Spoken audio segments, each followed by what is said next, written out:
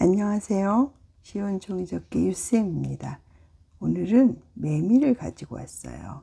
맴맴맴 하는 매미를 한번 접어 볼게요. 색종이는 한 장이 필요해요. 색깔은 오늘은 하늘색으로 접어 볼게요. 먼저 세모를 접어요.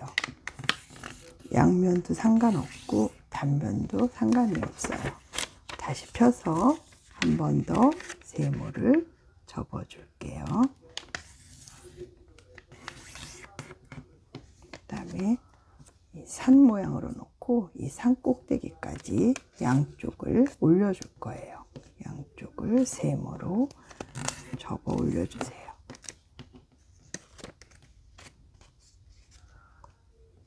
양쪽을 접어 올리고 이번에는 접어 내릴 건데 양쪽 끝에는 끝까지 내리고 가운데는 다 내리지 않고 이만큼을 남겨둘 거예요. 그러면 오른쪽을 접었으면 왼쪽도 똑같이 이 가운데는 똑같이 맞추고 왼쪽은 끝까지 접어내리는 거예요. 그래서 이렇게 양쪽을 접어내리면 이것이 날개가 될 거예요. 그리고 이제 위에 두 장이 있죠. 두 장 중에서 한 장만 이만큼 남기고 접어 내릴 거예요. 이만큼 내리고 남기고 접어 내리고 그 다음에는 이 가운데 파란 선이 남, 나오도록 또 남기고 접어주는 거예요. 이렇게 줄무늬가 생겼어요. 줄무늬가 생긴 다음에 뒤집어서 이번에는 양쪽이 짧은 선이 가운데 선에 맞추도록 접을 거예요. 양쪽이 서로 만나게 접을 거예요.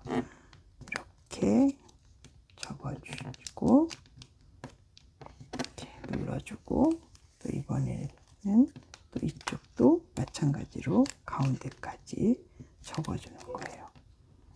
이렇게 이렇게 접으면 매미가 완성이에요.